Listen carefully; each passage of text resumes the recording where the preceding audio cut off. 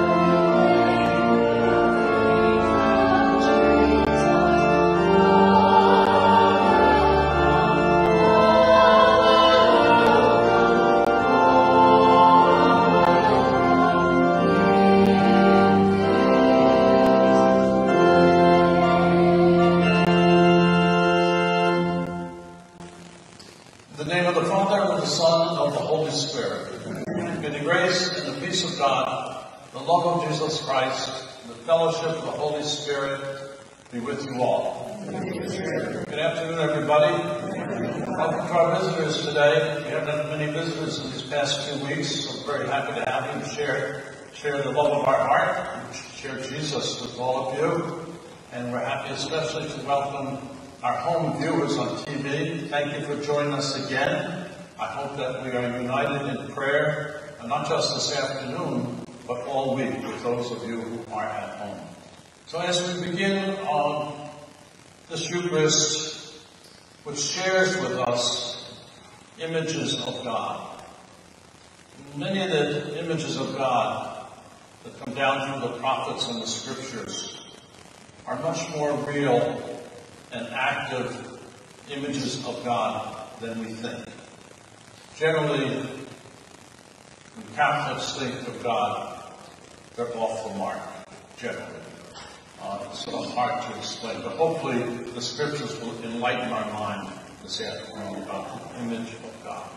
For example, suppose, suppose your image of God is a towering, powerful mountain. That's the correct image of God in the Old Testament. A mountain that sometimes be obscured from smaller mountains. That's when our pride sets in and builds mountains between us and God. And then sometimes we're even further off than that. So let's pause and call to mind our sins and seek God's forgiveness.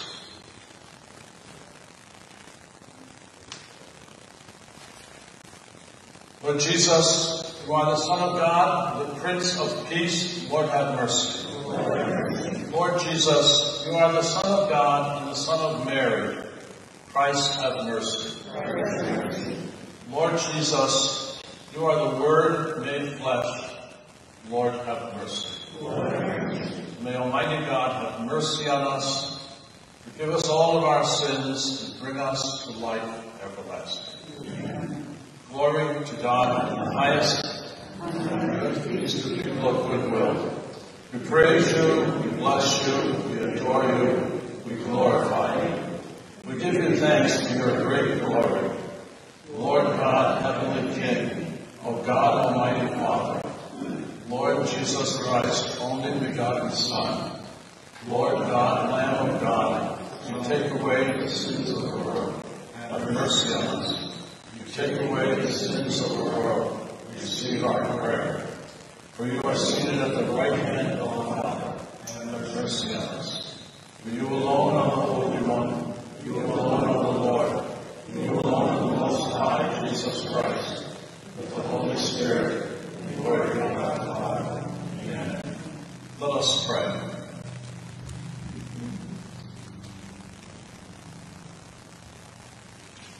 May your grace, O Lord, we pray at all times go before us and follow after, and make us all determined to carry out good works through our Lord Jesus Christ, your Son, who lives and reigns with you in the unity of the Holy Spirit, one God forever and ever. Amen. The lady was just talking to you, all around the church, all around, asked us to give you advance. Yes.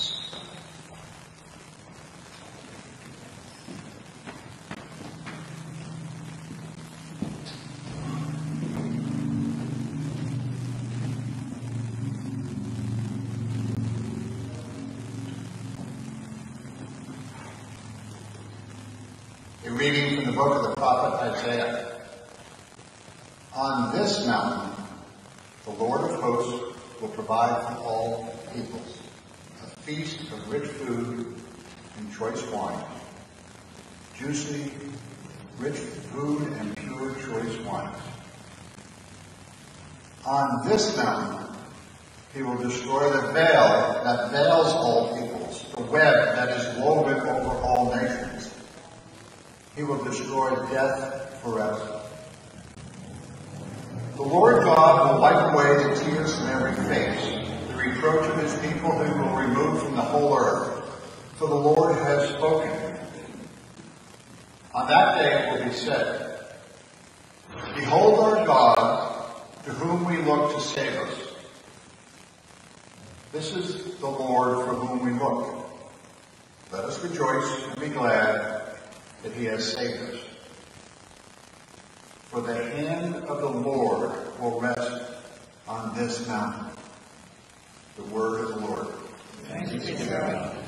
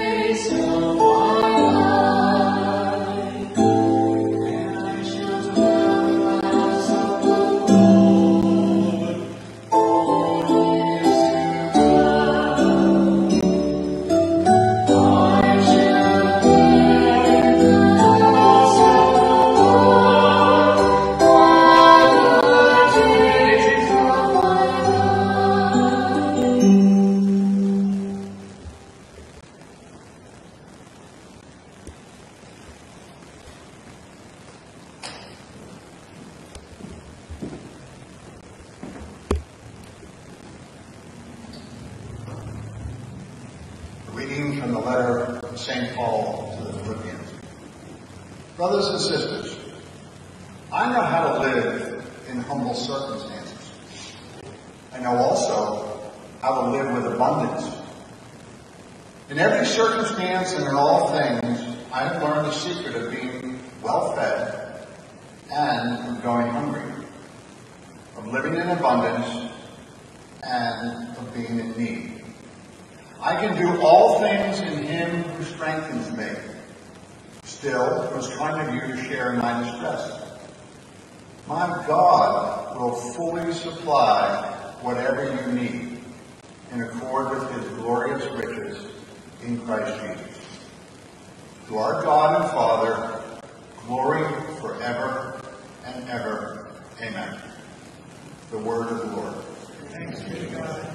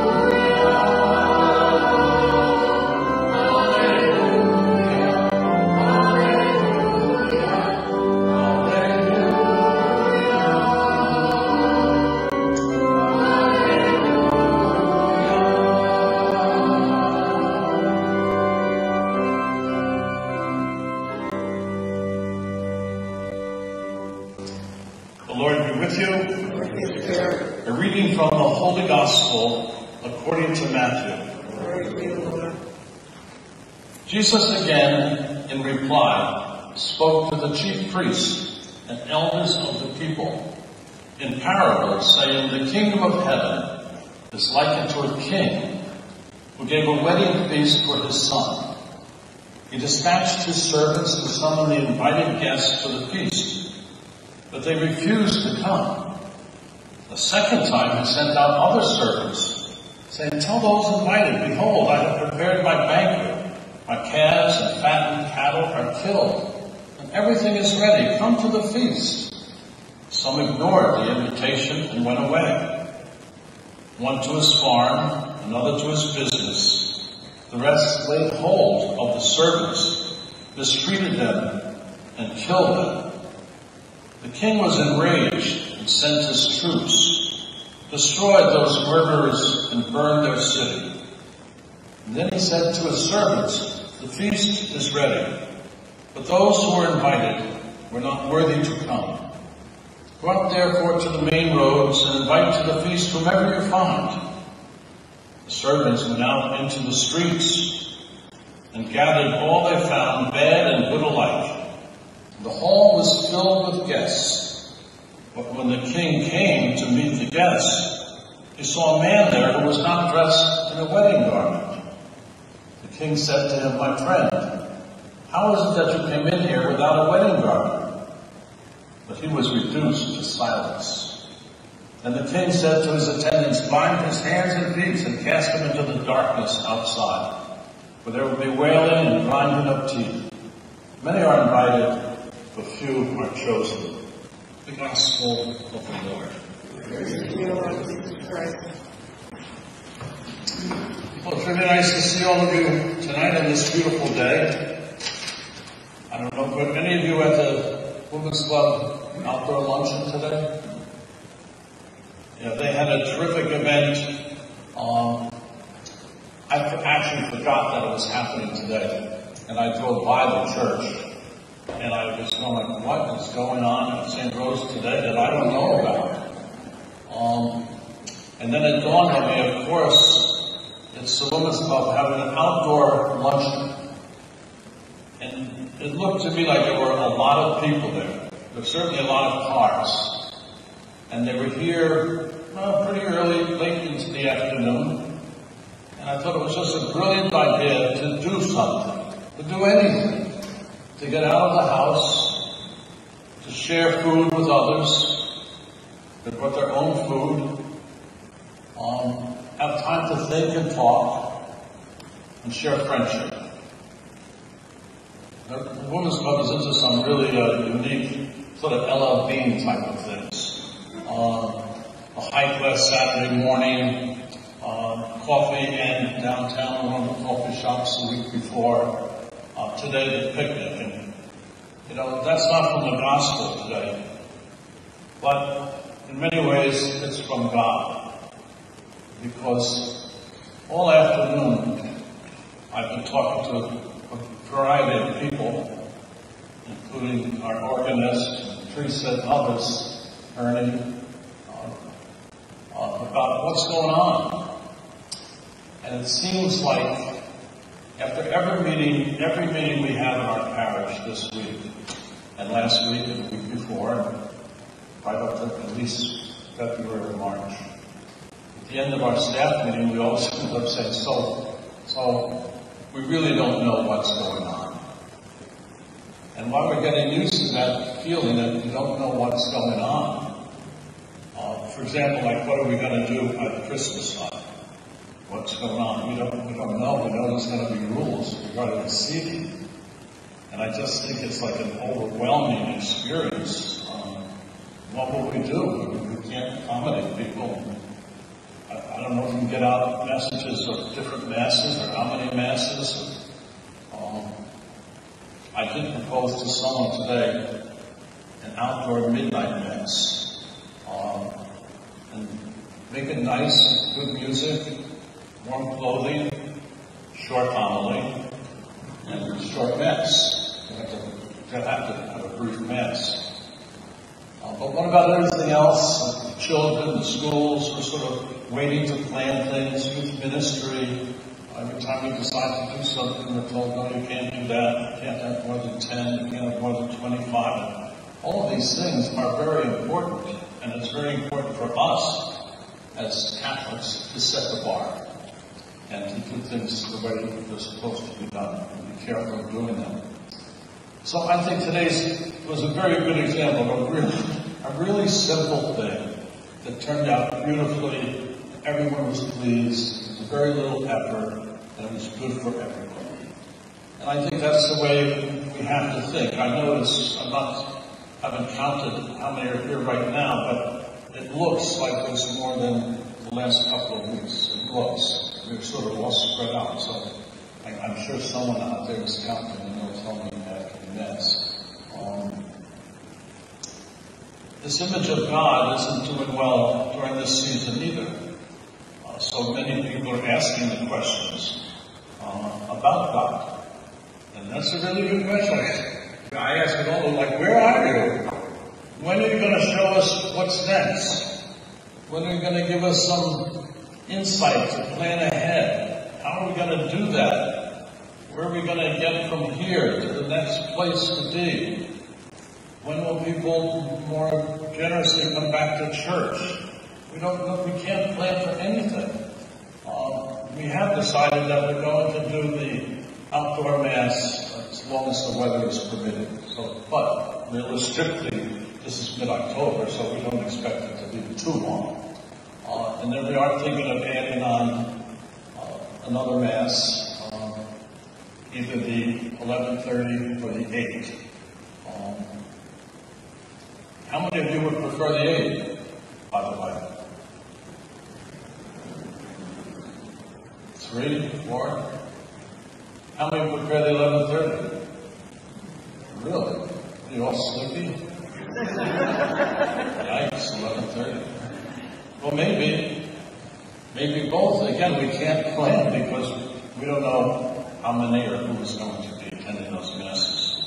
I love the first reading because it's from my favorite book of the Jewish scriptures, uh, uh, Isaiah. Isaiah is so beautiful. One of the beautiful lines in this verse that David just read to us was a very beautiful line. The Lord God will wipe away tears, the tears of every face. The Lord is caring for us. He actually wants to be that intimate with you, to wipe the tears from our eyes. That's as powerful as that view of the mountain, the great big mountains of the Far East, the Middle East. The mountains are an image of God. Why? Because of beauty, because of strength. You could almost say those mountains have character.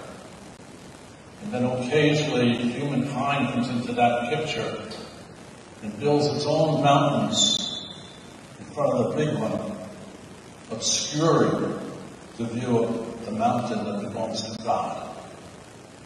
That's happening today in our country. It's happening in our selfishness, in our refusal to listen to other people, always arguing. Worse, I think, in the election year, worse than anything, I think is always the lack of interest to be open to other points of view. People actually scream at that, don't they? They just scream at it. I don't want to hear you. Don't tell me anything. It's all fake news, as they say. Seems to me this is such an important election for all the candidates who are running for office. They all need our prayers. Prayed for President Trump last week while he was still in the hospital. We should continue to pray for him. But we have to ask ourselves if this election is so important, am I making any effort at preparing for this election, or do I already know the way I want it? And that's it. It's always the same. But then, then you don't realize what's going on in another view. Someone else is right once in a while. And I think we ought to at least be faithful for the privilege of voting, to actually give it some attention that we can learn. I read a brief story the other day, and I forgot his name. It's a very difficult name. An Austrian doctor, back in the turn of the century, 100 years ago. Um, a surgeon worked with the dirt poor in some of the worst locations of Europe. And he noticed that all the mothers were having difficulty with birth and losing lots of children. He couldn't figure out why. In some countries that was happening, in other countries it never happened at all. He knew, he watched all the surgeons in the hospital uh, never move toward the sink and so forth. But the vast majority of those surgeons never realized that dirty hands were bad for you. And then he noticed surgeons going right from, let's say, an emergency room or even a corpse, right up to a maternity ward where they would begin to touch their patients with their hands. And many of those patients died. When he suggested examining or doing a test on cleanliness of your hands, the other doctors said they never thought that dirt and water were needed, that you didn't have to clean your hands. Those are tough, difficult days. He was ridiculed, made fun of because he was so silly in thinking that dirty hands would be the problem. Until he taught the hospital into going into a study. A study about cleanliness your hands as a physician. They discovered that with water suddenly started dying. This Austrian doctor had exhausted all that he had to prove another learning experience. Said, no, no, no, you must wash your hands. And we've been doing that today, aren't we? They made fun of him because he learned new things. He quit the practice of medicine and went to just a small hospital to nurse. We can think of that. What he proved wasn't just that soap and water is healthy for you. He proved that it doesn't always have to be that way. But we can all grow. And everyone who thinks they know everything is very often totally wrong. I think we should just ask God, the God who's also portrayed in this wedding feast today, God who cares for us and welcomes us, not the guard, not the king who threw the people out because they didn't have decent clothing. That's representing the other, the other, the opposite of God.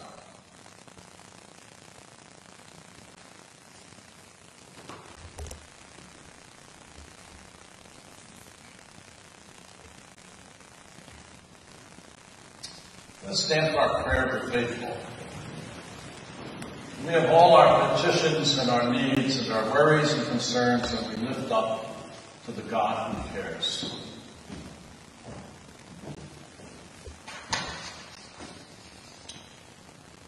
The church, that we may hear God's invitation to life and enter wholeheartedly into the banquet that God has prepared for us, we pray to the Lord. Lord, our prayer. For full participation in the Eucharistic liturgy, that we may draw strength for our daily lives from our communion with Christ and one another in celebration each week. We pray to the Lord. Lord, hear our prayer. For greater trust, that we may be confident of God's providence love that provides for all our needs, even during challenging times. We pray to the Lord. Lord, hear our prayer. For all who are ill, that God will ease their suffering, return them to health, that they may experience God's abiding presence with them. We pray to the Lord. Lord, hear our prayer. For all the faithful departed, especially Evelyn, May, Barry Robichaud, and Stanley Locke, for whom this Mass is offered, may they be raised up on the last day to live forever. We pray to the Lord. Lord, hear our prayer. Gracious and loving God, hear all the prayers we place before you.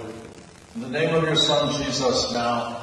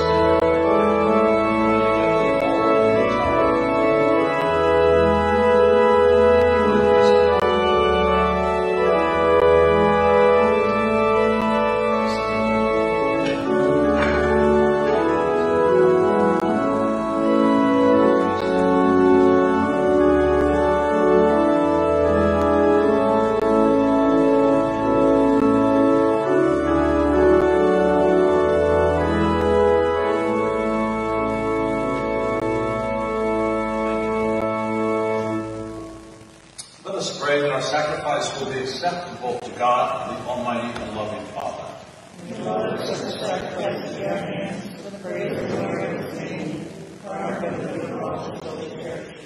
Accept, O Lord, the prayers of your faithful people gathered here with this sacrificial offering, that through these acts of prayerfulness and love, we may pass over to the glory of heaven through Christ our Lord. Amen.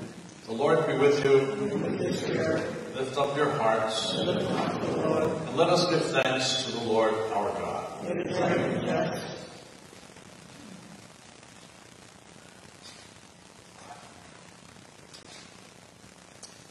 Loving Father, all over the world today, your people praise you. So now we join them together with the whole church, with Francis our Pope and Robert our Bishop, in heaven the Blessed Virgin Mary, Joseph our husband, Saint Rose of Lima, and all the saints who always sing your praise. Now we join with them and with all the angels and saints to adore you as we sing.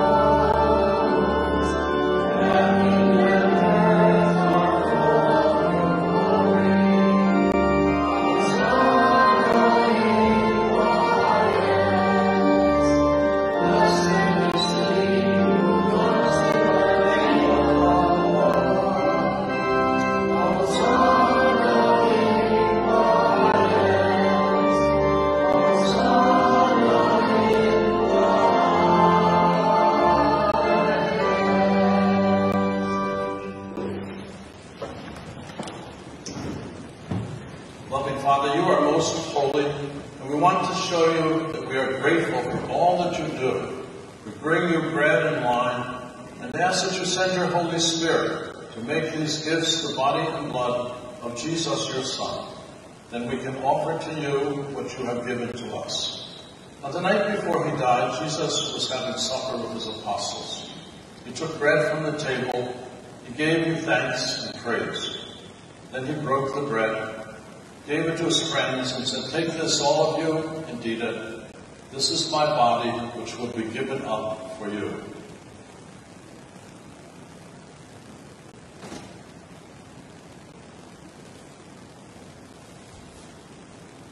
When the supper ended, he took the cup filled with wine.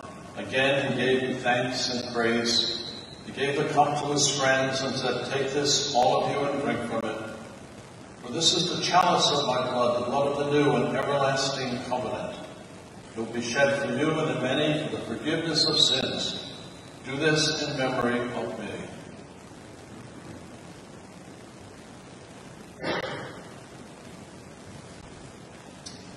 The mystery of faith.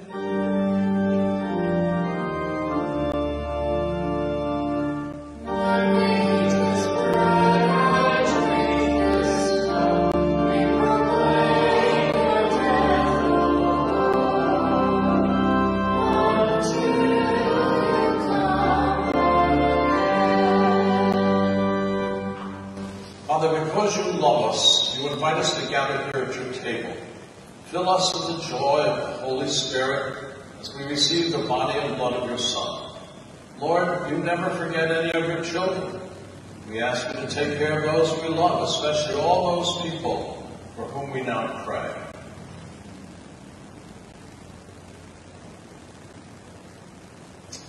Whenever we pray, we pray also for those who have died. Remember them and remember Evelyn, Evelyn who has been called from this life. In baptism they died with Christ. May they now share in his resurrection. Remember, Lord, everyone who suffers pain or sorrow. Remember Christians everywhere and all other people in the world. We are filled with wonder and praise when we see what you do for us through Jesus, your Son.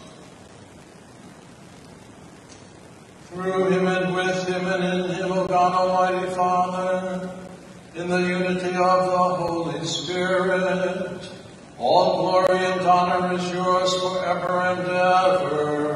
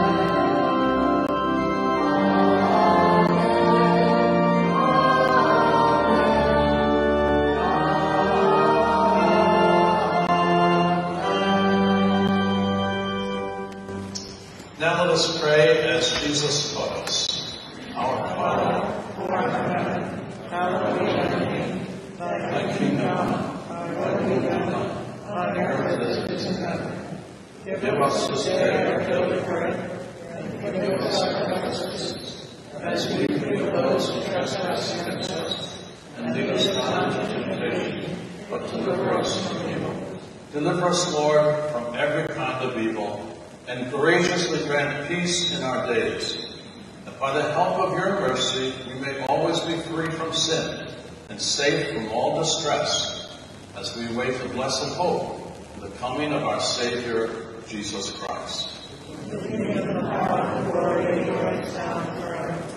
Lord Jesus, you said to your friends, I leave you peace. My peace I give you. Look not on our sins, but on our hope and our faith. And grant us the peace and unity of your kingdom where you live forever and ever. Amen. And may the peace of the Lord be with you always. Amen. Let's offer one another some sign of Christ's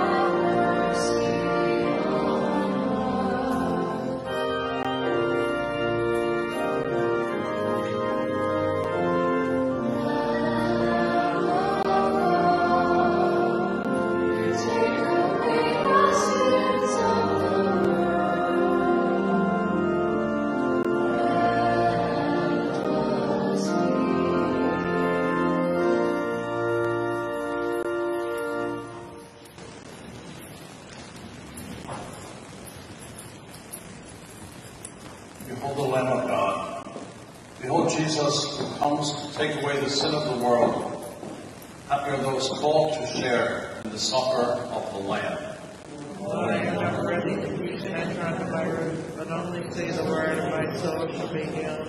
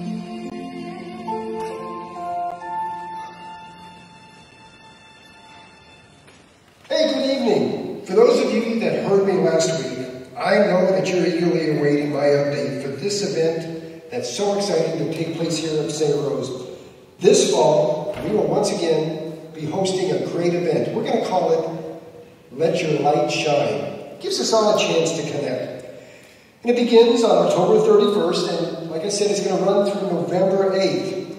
And thanks to Teresa, the registration page is now up on the website. So go to St. Rose, St. Rose of Northborough, and you'll find it an easy link right there. But to start off, we're going to virtually be having a 5K to let our light shine. And the 5K, I've been told as a novice, is 3.2 miles, but you'll have nine days. You can register as an individual, with a friend, or even as your entire family, but we want you to create a team. In the end, no matter what, you're not going to be running alone. Let me show you. Happy Houston. Take Father Houston with you. So we look forward to uh, having you share some of the favorite places that you run and take them with you to share pictures with us. I'm confident that these that will be in the bag after you register, these are going to become collector's items. If you want, you can choose to uh, walk or run for a special cause. Um, let your light shine for somebody in particular. It could be cancer awareness, food insecurity, social injustices, or just simply the need for peace on earth that might be near to your heart. There'll be contests again this year for all of the events, but specifically for the 5K, it's going to be based on age categories, most team spirit, and some new category that's kind of exciting, and that's called the craziest race outfits. So remember to share your photos with us. There'll be an email link sent your way. Uh, and make sure in those photos that you include Happy Houston because this is going to be exciting. The more pictures, the better, and we know it's going to be a lot of fun. So in addition to the 5K, we're going to have a scavenger hunt throughout Northborough on Saturday the 31st. You'll be provided luminary bags, an opportunity to share a thought or a prayer for someone or some cause close to your heart that we'll be praying for on All Souls Days Mass. Monday, November 2nd, we're going to have trivia night, be it through a Zoom meeting, but it'll be fun. Tuesday is a family meal and a food collection thought process. Wednesday is a Thanksgiving prayer, just being thankful. We want to hear from you. We want you to share your family prayer that you have. Come up with a nice Thanksgiving prayer and be sure to send in a family picture that also includes Happy Houston. Thursday night is very exciting because that's the virtual bingo night. And it's going to be led by our fabulous and most enthusiastic bingo leader, Jane McEwen. All those that register in this event will get their own bingo cards. Friday, November 6th, it's an at-home pumpkin painting party.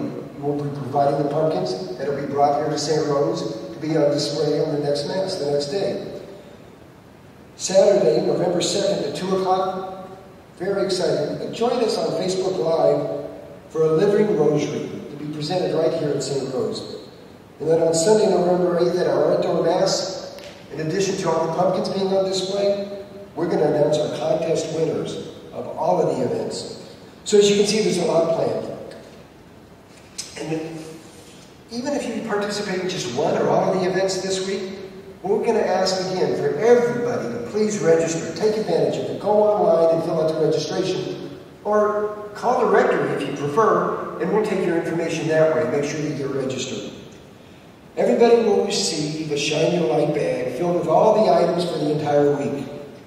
In closing, there's been a great response from my request to volunteers. And as volunteers, you'll be receiving an email this week as to the assignments and the fun that we can all have together. If you still want to volunteer, we have room. Just contact St. Rose and let us know, and we'll get you on the volunteer list. Very simple, easy tasks need to be completed. So again, I thank you for your time. Look forward to this great event, and have a great week.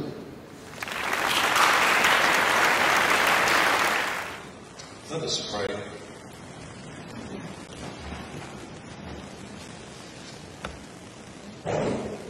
Lord, we ask you humbly that as you nourish us with this sacrament, the same sacrament that comes from your precious holy body and blood of your Son, so you make us sharers in the divine nature.